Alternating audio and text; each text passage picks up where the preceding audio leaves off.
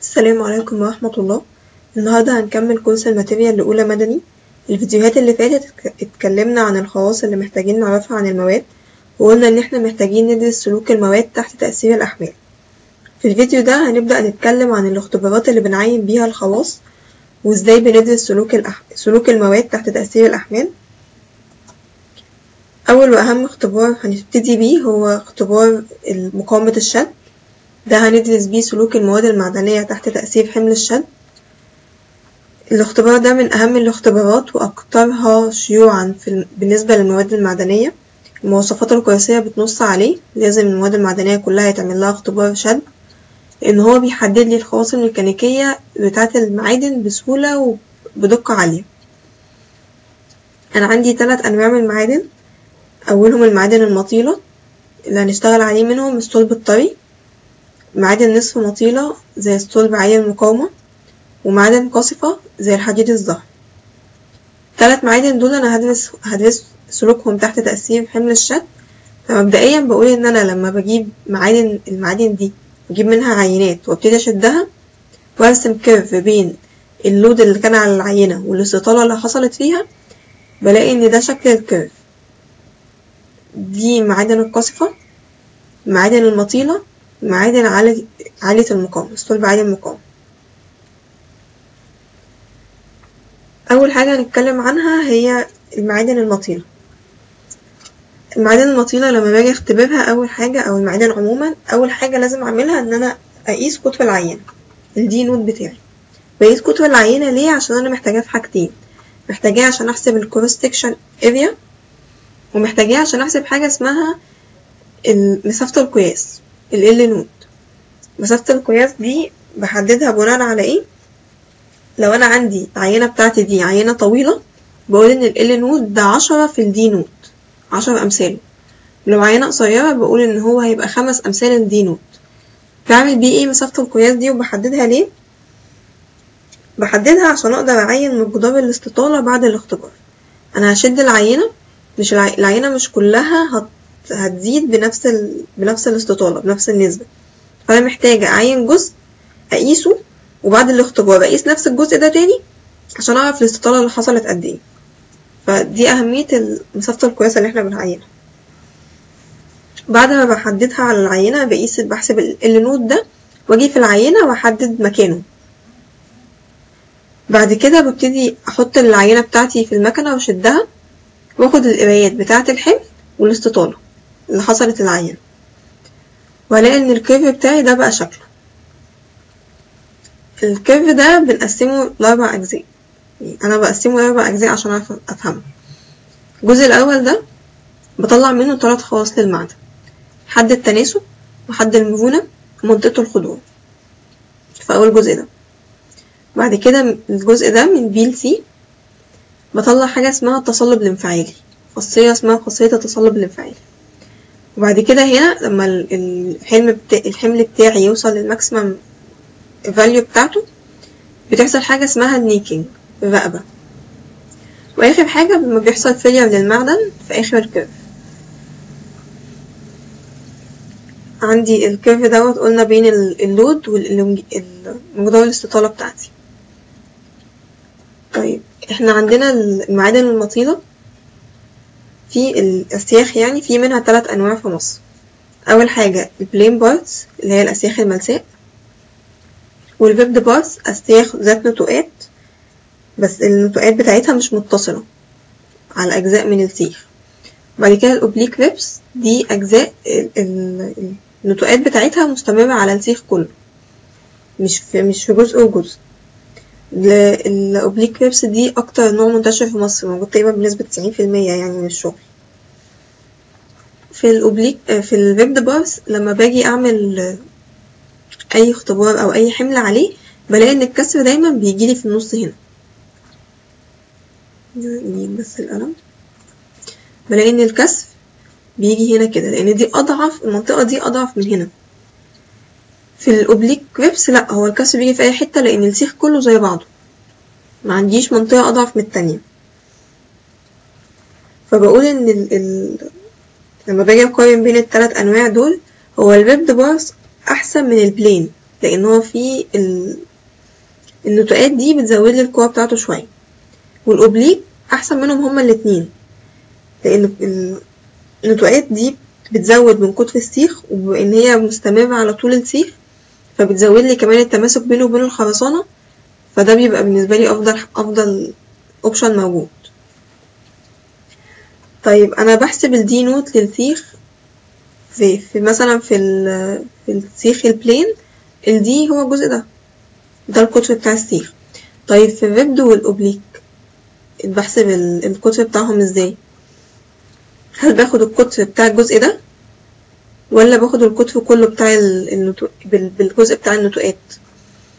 قالك أنا أنا مش هاخد ده ولا هاخد ده. أنا هاخد حاجة اسمها D effective طيب أنا بجيبه منين ال D effective دي؟ اللي هو القطر الفعال فعلا اللي شغال أنا هفترض إن أنا جبت السيخ بتاعي ده وسيحته.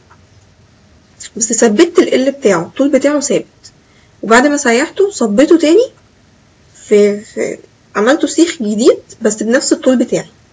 فالزيادات اللي كانت في النتوءات دي هتزود لي القطر بتاع السيخ. فيبقى هو ده ال D effective بتاعي القطر الجديد طيب هو أنا همسك الأسياخ اسيحها عشان أحسب القطر بتاعها؟ لا أنا مش هعمل كده.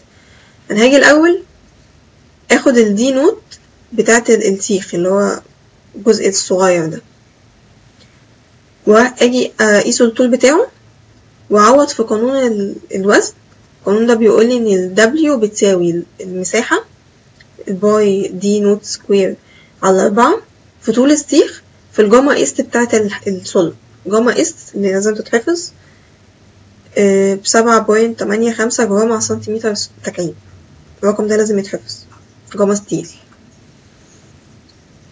طيب بعد كده بعد ما أجيب ال W من هنا أجيب وزن السيخ هاجي اعوض بقى في قانون ال D effective. القانون ده بيقول لي إن ال D effective بتساوي اتناشر point سبعة في جذر ال W على ال L اتناشر point سبعة ده constant جه من تجارب كتير. فباجي هنا اما أحسب ال D effective ده هيطلع لي عندي يطلع تلات احتمالات. يطلع احتمالين. يا إما ال D effective يطلع هو هو ال D nought في حالة ال plain bars هو ال D effective هو هو ال ال D nought بتاعي. يا إما يطلع أكبر منه. فساعتها ال ribbed bars وال oblique bars هو ده هيبقى السيخ بتاعي ذو نتوءات ساعات بيجيب ال- الأسئلة في الامتحانات ان هو مش بيقولك هو السيخ ده ذو نتوءات ولا لأ ويقولك احسب لي يعني قول لي بقى السيخ ده ذو نتوءات ولا أملس. فبنشتغل بقى بالحتة دي بالقانون ده. إن أنا بحسب وزن السيخ وطوله وأحسب منه ال D effective لو طلع أكبر من ال... من القطر اللي هو مديهوني يبقى ده اسياخ ذات نتوءات لو طلع قده يبقى اسياخ ملساء المهم نخش بقى الاختبار بتاعنا. بنعمله إزاي؟ إحنا قلنا إحنا بنشد العينة وناخد أرقام قرايات ونرسم ال curve. نطلع بقى من ال curve بتاعنا ده الخواص بتاعة المعدن. أول حاجة الجزء A B نرجع بس كده إيه؟ سريعا نبص على ال curve.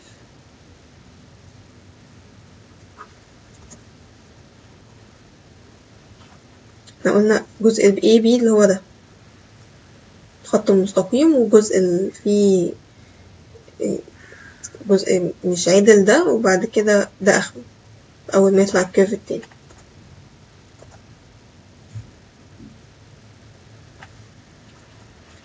فنيجي هنا لجزء A B. عندي جزء أهو ال- الخط المستقيم. آخر الخط المستقيم ده آخر نقطة فيه. هي ال proportion limit. حد التناسب. إيه حد التناسب ده؟ دي النقطة اللي عندها التناسب الطردي بين الحمل والاستطالة بينتهي. يعني إيه؟ أنا لما باجي في أي أي معدن باجي أشده في حاجة اسمها الإلاستيك ليميت المرونة. لما باجي أشد ال- المعدن بتاعي عند نقطة معينة لو سبته هيرجع تاني للشكل الطبيعي بتاعه التشكل مش هيفضل موجود. فهي دي حد التناسب ده دي النهاية النظرية اللي هي آخر الخط المستقيم. بس أنا فعليا في بعد كده نقطة لو سبت لو شديت ال- السيخ لغاية عندها وسبته هيرجع تاني. يعني هو فعليا آخره مش بيبقى عند ال proportion limit مش في كل المعادن طبعا في بعض المعادن. فمن هنا جات لي حاجة اسمها ال elastic limit حد المرونة. فبقول إن حد المرونة ده هو النهاية الفعلية لمنطقة المرونة. قالك خلي بالك أنا حد التناسب ده أنا بع... يعني بيعتمد على الرسم أنا بجيب بقولك آخر الخط المستقيم. أنا لو أنا رسمة ال- ال curve بدقة عالية هعرف أجيبها. لو الدقة مش عالية هيطلع رقم تاني وهكذا. فأنا ما باخدش حد التناسب ده ما باخد ما ب- بحطوش في اعتباري في ال design إحنا قلنا بن- بنعمل design للمواد للمنشآت بتاعتي كلها جوه ال elastic limit أنا عايزة لما يجي حمل على المنشأ بتاعي والحمل ده يتشال التشكل اللي حصل ميبقاش موجود يتشال مع الحمل. فأنا فعليا حد التناسب ده أنا مش بعرف أجيبه دايما بدقة فمش بشتغل عليه بشتغل على حد المرونة. هو الفرق بينه وبين حد التناسب صغير جدا تبقى أرقام بسيطة جدا أرقام عشرية. وفي معادن عندي بلاقي إن حد التناسب بتاعها هو هو حد المرونة. الاتنين رقم واحد. مفيش فرق. مهما كان الجراف بقى فيه accuracy عالية ولا لأ هلاقي الاتنين نفس الرقم. مش هلاقي الجزء ده. لأ هلاقي إن آخر الخط المستقيم هو هنا. وبعد كده بخش في منطقة الخضوع بتاعتي. طيب إيه بقى الحتة دي؟ ليه الكيرف هنا عامل كده؟ دي حاجة اسمها منطقة الخضوع. المعادن المطيلة بتتميز بمنطقة الخضوع دي. آه، معادن المطيلة كلها فيها منطقة خضوع أو نسبة كبيرة جدا منها. المعادن النصف مطيلة ما فيهاش منطقة خضوع. إيه منطقة الخضوع دي بقى؟ أنا عندي في الأول وأنا بشد ال- السيخ أنا عمالة أزود في حمل. فهو في الأول بيتشد معايا والدي بتاعته بتبتدي تتغير حاجات بسيطة. كل ما أزود الحمل الروابط اللي جوه بين الجزيئات بتبتدي تتكسر. فلما أجي عند هيجي عند حمل معين كده هلاقي إن الروابط دي بتتكسر بسرعة جدا. بقت بتتكسر أسرع من العادي. فلاقي إن الحمل بتاعي المؤشر بتاع المكنة عمال يروح ويجي الحمل بيزيد ويقل والاستطالة بتاعتي بتزيد. هو الحمل لوحده الروابط اللي جواه ابتدت تتكسر.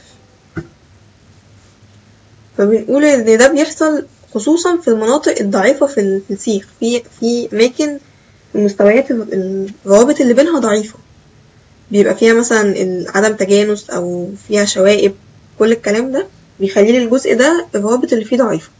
فلما أجي أزود الحمل تبتدي الروابط كلها تتكسر بسرعة فيحصل لي استطالة كبيرة والحمل بتاعي تقريبا ما بيتغيرش هو عمال يزيد وي- ويقل. طيب الزيادة وال- والنقصان دي جابت لي حاجة اسمها ال down yield limit وال up yield yield limit. إحنا قلنا هي الجزء ده باخد ال- ال range بتاع ال- الرقمين دول وهو ده ال yield limit بتاعي ال P yield limit قلنا إن عمليا حد التناسب وحد المرونة ومنطقة الخضوع تقريبا بيبقوا نفس يعني أرقام قريبة جدا من بعض. فبالتالي بقدر أعتبرهم التلاتة حاجة واحدة. يعني لما باجي آخد أرقام بقى فعليا وأشتغل بيها بعتبر التلاتة حاجة واحدة لأن الفرق بينهم بيبقى أرقام بسيطة جدا ممكن أهملها. طيب ده بالنسبة لأول جزء. تاني جزء بقى اللي إحنا قلنا ال curve بتاعنا بيبتدي يزيد بعد الحتة دي. في الجزء ده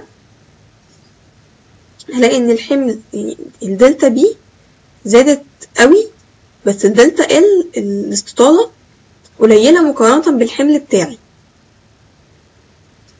ده سببه إيه؟ ليه بيبقى عندي جزء كده؟ ليه مش مثلا يعني إحنا قلنا هنا منطقة الخضوع الروابط كلها ابتدت تتكسر والاستطالة بتحصل كبيرة. إيه اللي حصل خلى إن أنا عندي لأ الاستطالة مرة واحدة قلت والحمل بتاعي بقى بيزيد جامد؟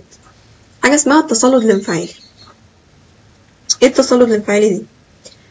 لما بيجي عندي في منطقة الخضوع الروابط تبتدي تتكسر جامد فالجزيئات كمان بتبتدي في جزيئات بتبتدي تتفتت.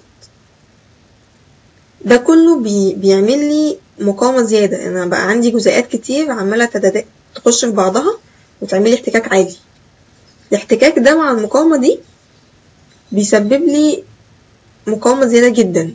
فبقول إن التفسير ده جاي من نظرية جيفري وأرثر للانزلاق والتداخل. دي أو- يعني أقرب نظرية لل- للي إحنا بندرسه. بنقول إن إحنا أثناء حركة الجزيئات المستويات الضعيفة بتبتدي تنزلق على بعضها. وبيحصل فيها آه، تكسر هي بتبتدي تتكسر بتتداخل.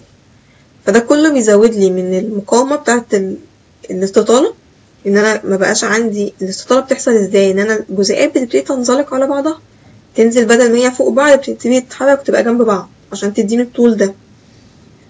فمع الروابط الكتير اللي بتتكسر والجزيئات الكتير دي الانزلاق ده ما بيبقاش سهل.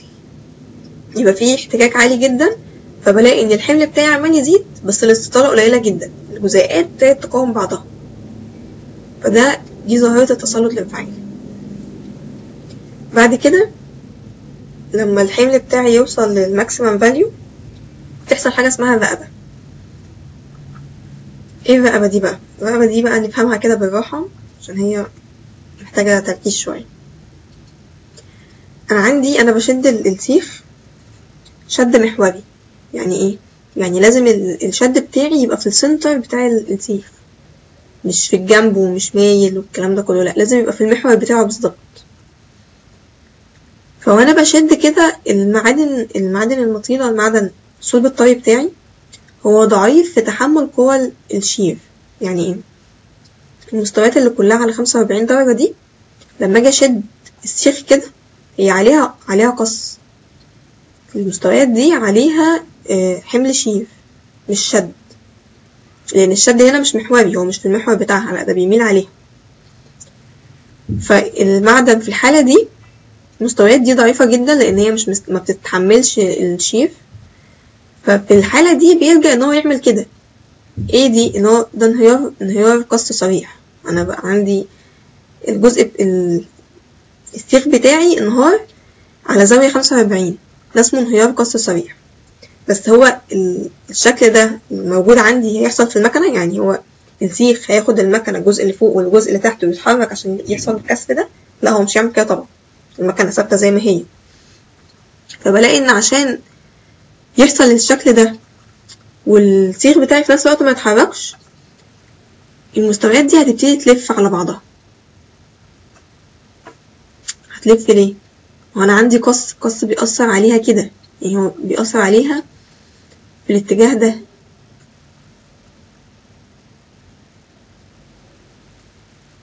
زاوية خمسة وأربعين. وأنا بشده كده. فأنا هلاقي إن ال... ال... الشد مع القص هيبتدي يلفف لي المستويات دي. فهتحصل يحصل الشكل ده. يعني أنا عندي الجزء ده المفروض يحصل. بس أنا لازم السيخ بتاعي يفضل بال... بالمنظر ده. فهلاقي ال- المستويات الخمسة وأربعين درجة دي ابتدت تلف. وهي بتلف تديني بقى المنظر ده. كل ال- المستويات اللي كانت خمسة وأربعين درجة كده تبتدي تلف فهلاقي إن القطر هنا صغر. فده بيبقى منظر السيخ كده. هلاقي السيخ كله بتاعي مفيهوش حاجة وفي جزء كده راح واخد كيرف لجوه وحصلت لي حاجة اسمها الرقبة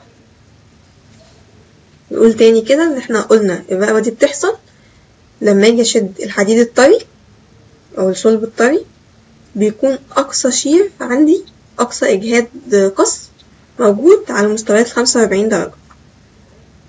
ولأن الصلب ده ما بيتحملش ال shear ضعيف جدا في تحمل قوى ال shear فيبتدي يلجأ إن هو يحصل له حاجة اسمها انهيار قص صريح إن هو يتكسر على خمسة وأربعين درجة.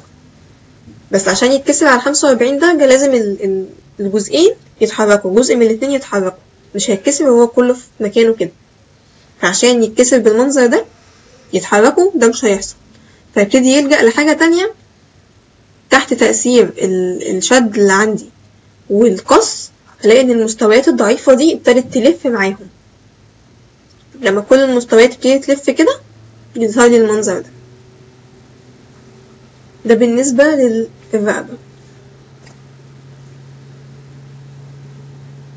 بعد كده عندي الانهيار. آخر حاجة بقى. الانهيار بيبقى أقل يعني على حمل أقل من حمل الرقبة اللي هو ال maximum value بتاعت ال P ليه؟ لأن أنا لما حصلت عندي الرقبة قطر ال- السيخ بقى أصغر من القطر الأصلي. فبالتالي بقى بيتحمل آه، قوة شد أقل.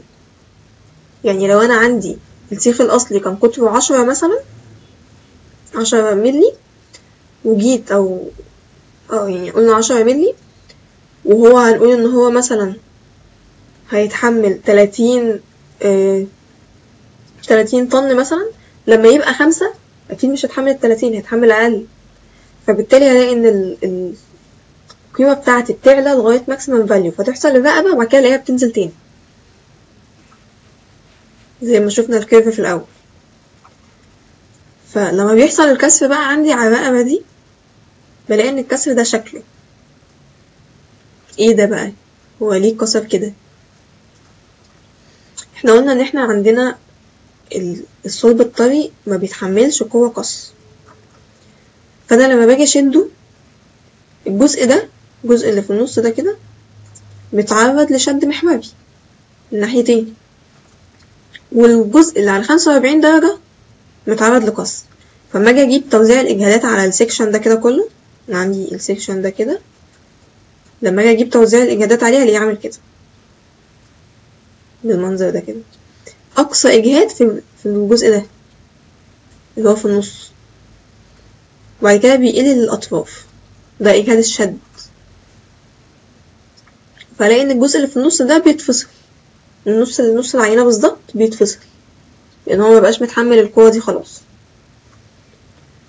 وبعدين وهو بيت- بيتفصل يبتدي بقى ال- قوة الشد قوة ال- القص اللي هنا تضغط أكتر عليهم على الأطراف. فهلاقي ال- الجزء ال- في الجناب ابتدت تتفصل عن بعضها. يحصل لها انزلاق. جزيئات جزيئات المعدن بتلف زي ما قلنا عشان تعمل الرقبة وفي نفس الوقت بتنزلق على بعضها فتروح مفصولة. فبيقول إن هو بيحدث انفصال في منتصف المقطع على هيئة مستوى عمودي على اتجاه الشد. ده بسبب الشد. وبيصاحبه انزلاق جزيئات المعدن بمنطقة حروف المقطع مما يؤدي للانفصال بالقص في الجناب في الجزء ده في الأطراف. فيديني بقى اللي هو شكل ال cup وال cone ده. والمعدن ال- ال- ده اسمه cup and cone failure المعدن المطيلة مشهورة بالشكل ده. طب شكل بقى ال- المعدن بعد الانهيار بيبقى عامل- إزاي؟ الجزء ده كده اللي انفصل بسبب الشد بلاقي ان هو خشن ولونه داكن لونه غامق عن باقي باقي المعدن. هو اختبار ال- الانفصال بالشد الانهيار بالشد دايما بيبقى كده. الاقي المعدن بتاعي خشن. طيب الأجزاء اللي اتكسرت عن طريق القص بلاقيها ناعمة وبتلمع. طيب ليه دي آه، خشنة وليه دي ناعمة؟ ببساطة لما أجي أشد حاجة وأفصلها يعني أنت تعالى كده جرب هات أي حاجة وافضل شد فيها لغاية ما تتفصل. هي الجزيئات وهي بتتفك من بعضها. مش هيبقى في أج... مش هتبقى ناعمة يبقى في أجزاء بارزة وفي أجزاء داخلة لجوه. لكن لما أجي أمسك نفس ال- الحاجة دي وبدل ما أشدها لا أنا أروح فصلاها كده عن بعض ب... ب... ب- من الجنب كده وأروح فاتحاها أنا. هلاقي إن هي ناعمة بالنسبة لل... للجزء اللي أنا شديته. هو ده بالظبط اللي بيحصل هنا إن أنا عندي وأنا بشد جزيئات بتتفصل من بعضها لكن في القص جزيئات بتنزلق على بعضها. تفضل تنزلق لغاية ما تتفصل خالص. فالانزلاق ده بيجيب لي سطح ناعم. ده بالنسبة لل curve. ده كده فهمنا ال curve بيترسم إيه إيه الشكل بتاعه ده والحاجات دي جاية منين. طيب بعد كده بعد بعد شكل ال curve ده بتيجي بقى تعيين الخواص. إحنا قلنا إحنا بنعمل اختبار عشان نعين الخواص. إحنا في خواص بنعينها من على ال curve وخواص تانية بناخد الأرقام اللي إحنا جبناها دي خواص يعني خواص أساسية وخواص ثانوية. الخواص الأساسية دي لازم لازم أعينها لأي- حاجة. أي حديد هشتغل بيه في خواص أساسية لازم أعينها باقي الخواص دي بت... بحتاجها لما أجي أعمل حاجات معينة. لما ببقى عايزة أدرس حاجة معينة في المعدن ده. فباجي أقول أنا عندي تلات خواص أساسية. ال F yield وال F maximum وال elongation حد التناسب واللي هي مقاومة المعدن فعلا حد التناسب بنحدد منه مقاومة المعدن للشد. وال F maximum أقصى حمل هتتحمله المعدن بتاعي ده قبل ما يتكسر ونسبة الاستطالة اللي بتحصل فهنقول إن إحنا عندنا من حد التناسب هيقول إن ال F P ال F yield أو proportion limit إحنا قلنا إن هما الاتنين تقريبا هما نفس الحاجة. بقسمهم على ال A naught كده أجيب ال F yield وبعد كده بجيب ال P maximum بتاعتي واقسمها على ال A naught كده جبت ال F maximum وبعد كده أجيب نسبة الاستطالة. هي ال delta L على L naught. إيه ال delta L بقى؟ delta L دي إحنا فاكرين L naught اللي إحنا قلنا في الأول ان إحنا بنعينها على السيخ عشان أجي بعد كده اقيس نفس الجزء واخد الاستطالة اللي حصلت هي دي بالظبط ال delta L أنا بجيب. بعد بعد ما يحصل الكسر عندي بجمع الجزئين دول تاني. يعني بعد ما حصل الكسر بجمع دول تاني وأقيس الاستطالة وأجيب حاجة اسمها L i اللي هو الطول النهائي. وأروح طرحة منه L naught اللي أنا حسبته في الأول كده جبت ال delta L maximum الاستطالة الكلية. وأقسمها على L naught في مية. كده جبت نسبة الاستطالة في المعدن بتاعي في العينة. ومن هنا بقى أجي أحدد الخواص الأساسية. إيه الخواص الأساسية للمعدن؟ الخواص الأساسية دي هي اللي بتعين بتحدد لي المعدن العينة بتاعتي دي رتبتها إيه. يعني إيه رتبة العينة؟ رتبة العينة دي رقم أو بيحدد من اسم العينة كده بعرف هي البي يلد بتاعتها كام أو ال F yield بتاعتها كام وال F maximum بكام. وأنا ببقى عارفة ان العينة مثلا اللي رتبتها 360 على 520 دي نسبة الاستطالة بتاعتها 12% فأنا عندي أربع رتب للحد للمعدن لل steel. أول حاجة 240 على 350 إحنا قلنا اسم العينة بيعرفني ال F yield بتاعتها وال F maximum فألاقي إن ال 240 دي ال F yield بتاعت العينة بتاعت الرتبة دي. 350 دي ال F maximum ونسبة الاستطالة بتاعت العينة دي عشرين في المية. وبديها رمز phi. بعد كده عندي الرتبة التانية ميتين وتمانين على ربعمية وخمسين. ال F yield بتاعتها برضو بميتين وتمانين. ال F maximum بربعمية وخمسين. نسبة الاستطالة تمنتاشر في المية. برضه بتاخد رمز phi. طيب الرتبة التالتة تلتمية وستين على خمسمية وعشرين. بنقول ال F yield بتاعتها 360 وال F maximum 520 الاستطالة بتاعتها 12% تاخد الرمز ده اللي هو phi بس بشرطتين. آخر رتبة 400 على 600 ال F yield بتاعتها 400 وال F maximum 600 وال elongation بعشرة في المية. وده الرمز بتاعها. طبعا كل الأرقام دي بنيوتن على المليمتر square. طيب أنا بحدد بقى رتبة العينة. عشان أعرف دلوقتي أنا بقى لما أجي أعمل design أنا عندي هعمل design مثلا على إن السيخ بتاعي رتبة 280 على 450 فأنا لازم أبقى عارف إن مقاومة السيخ اللي أنا هشتغل عليها هي ال 280 لما أجي أعمل design آخد ال 280 دي أقسمها على ال factor of safety وأطلع ال F design بتاعتي. اللي أنا هشتغل بيها. في خواص تانية للمعادن بنحسبها؟ آه في خواص تانية. آه بس باقي الخواص بقى دي بنسميها خواص ثانوية. بحتاجها لما أجي أدرس حاجة معينة في المعدن. هنتكلم بعد كده عنهم بالتفصيل. بس ده بالنسبة لفيديو النهاردة. الجاي إن شاء الله هنتكلم عن المعادن نصف المطيلة المعادن القصفة الكيرفات بتاعتهم عاملة إزاي ونطلع منها الخواص إزاي. وبعد كده هنتكلم عن الخواص الثانوية للمعادن. أتمنى تكونوا فهمتوا. السلام عليكم ورحمة الله.